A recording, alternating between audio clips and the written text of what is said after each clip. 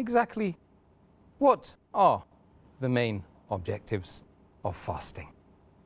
Alhamdulillah, wassalatu wassalam ala rasulillah wa ala alihi wa sahbihi ajmain, amma ba'd. أعوذ بالله من الشيطان الرجيم بسم الله الرحمن الرحيم رب اشرح لي صدري ويسر لي أمري واحلل عقدة من لساني يفقهوا قولي There are many objectives of fasting. I'll just list the main ones.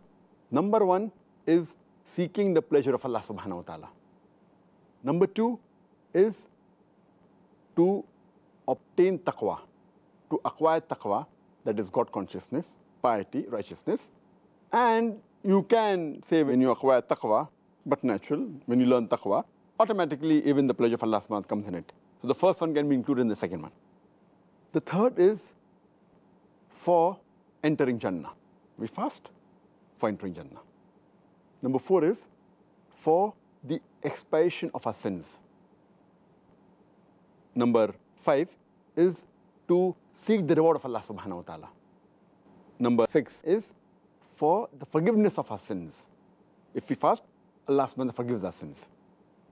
Number seven, to acquire a shafa'ah.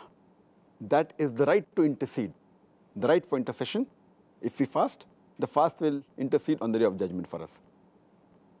Number eight, it is to realize the bounties of Allah subhanahu wa ta'ala. Number nine, to increase our willpower and our determination. Number 10, it is to acquire good deeds. Number 11 is to gain more honesty. Number 12, it is to decrease our desire, diminish one's desire.